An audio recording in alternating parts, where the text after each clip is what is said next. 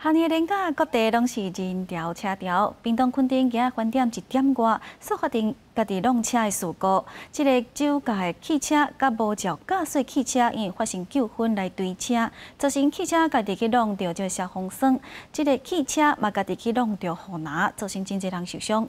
汽车的一名乘客是头壳着伤，送病院不治。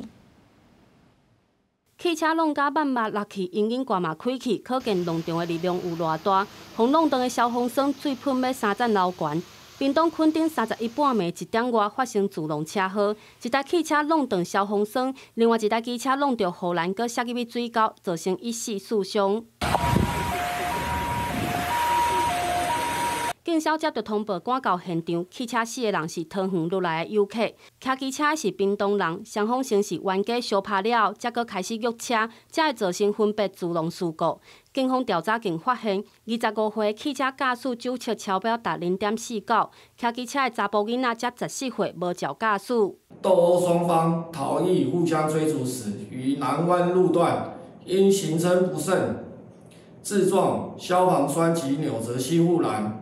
受伤救治，警方初步已掌握涉案人员身份，全力追缉中。其中一个汽车乘客因为头重伤，送医过程就过往，汽机车双双违规造成事故。警方除了调监视器厘清事故的原因，也会照酒驾、无照驾驶等违规行为，将汽车驾驶甲骑车的民众移送。记者陈焕武、柯正准、屏东报道。